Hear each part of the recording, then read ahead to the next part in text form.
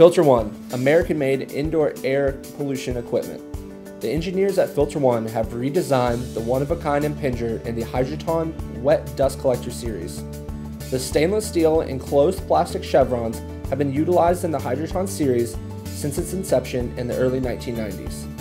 The impinger's purpose is to keep all water droplets from passing through the collector with the clean air. They were intended to be cleanable pieces, but it was discovered that over time, the metal sludge would build up in the most inside parts of the chevron blades and harden, making it difficult to clean. The new design allows the impingers to come apart, enabling the use of high pressure water to reach all surfaces on the chevron, whisking away all the dirt particulate. When the impingers are maintained on a monthly basis, they will stay particulate free and be a permanent part of your wet collector system. The new impingers will be used in the entire Hydrotron line and is just another one of the continual improvements the engineers at Filter One continue to make on our entire product line. Filter One is now going to show you exactly how to take apart your brand new cleanable impingers. On the top and bottom you will have four screws in each corner that a simple screwdriver will take Phillips head and all you need to do is take each one of these out but make sure that you guys are taking out the correct sides of your cleanable impinger.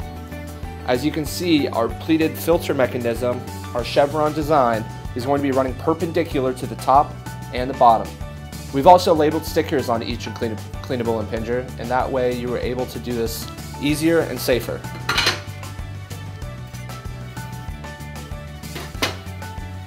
If you look inside, Filter One has came up with a new chevron design that you're able to take the tops and bottoms off, which I'll show you in a minute.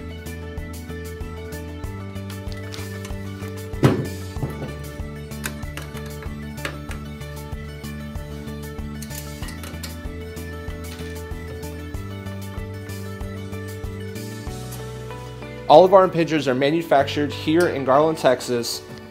So all of our consumers and customers and end users will know exactly what style of product they're getting, as well as the quality that they're receiving.